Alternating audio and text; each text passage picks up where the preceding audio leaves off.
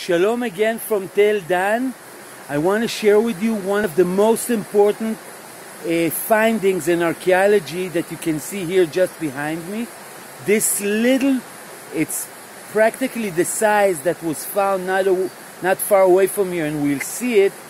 Uh, this is the only uh, archaeological evidence of the name of the House of David. It was found in excavations in the 90s here in Tel Dan uh, by uh, Professor Usishkin, and it mentions the words Bet David, the house of David. Uh, it refers, it was, it refers to a, um, a time about 2,900 years ago, the 9th century before Common Era, probably in the time of Hazael, the Aramaean king that's mentioned in the Bible, and we'll go and see it shortly. So, Shalom from Israel.